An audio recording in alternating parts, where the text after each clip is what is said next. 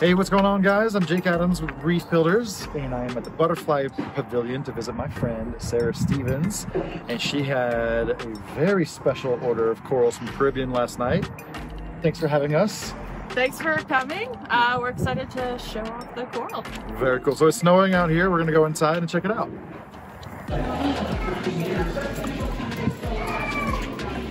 They're lowish lighting right now. Oh, you already have them on display. Oh yeah, this is the system. So this is a super bio, it's like a biospheric system. So this is on place like oh, You want to? Do you want to give us just a brief overview of what's happening in this tank? Yeah, sure. Uh, Actually, probably start from the beginning of why you came, we have them here. uh, got your hands on some Caribbean corals. Yeah, tell us about that.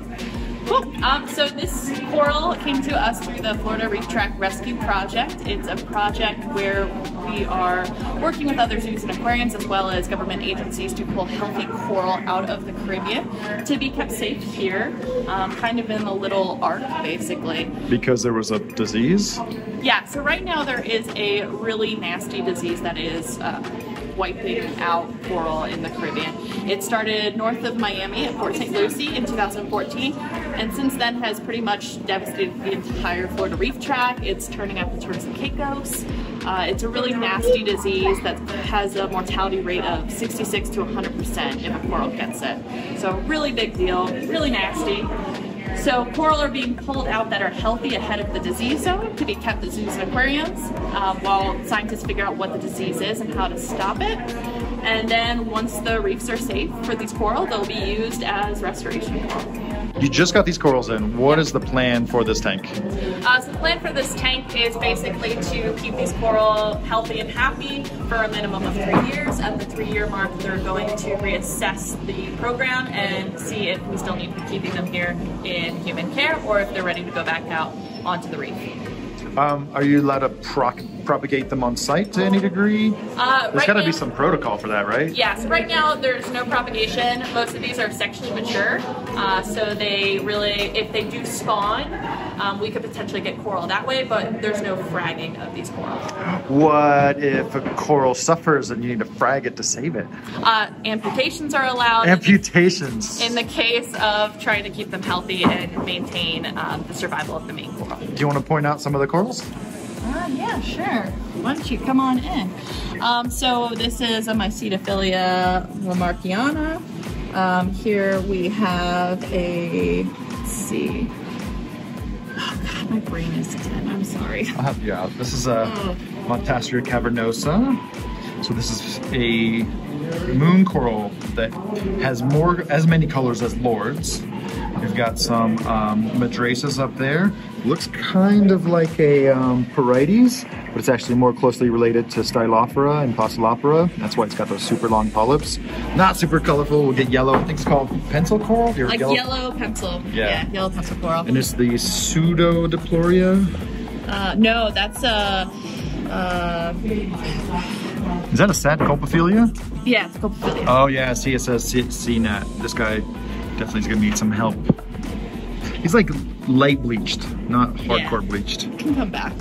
Pretty much everybody could potentially come back. This is a Mycetophyllia right here. This is a group of corals that uh, I call them the Caribbean chalice corals because they come in crazy colors and they have those fun ridges and That's an bubbles on them.